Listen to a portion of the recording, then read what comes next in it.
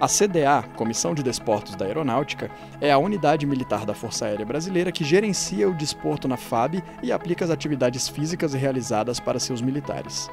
Localizado no Campo dos Afonsos, no Rio de Janeiro, o local recebeu investimentos em suas estruturas para os dois últimos grandes eventos esportivos realizados no Brasil: os Jogos Mundiais Militares, em 2011, e os Jogos Olímpicos, em 2016.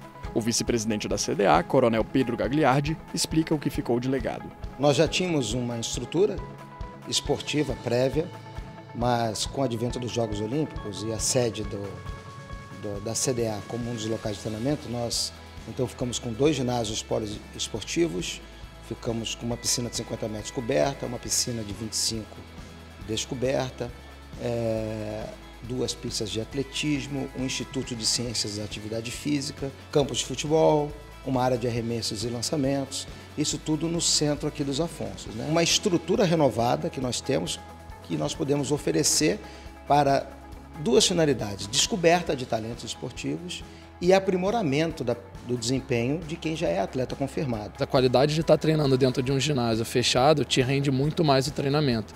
Você não fica cansado, você não, o estresse mental é bem menos. Então aqui a gente tem tudo. Eu preciso de uma fisioterapia, eu tenho fisioterapeuta. Eu preciso de nutricionista, temos nutricionista.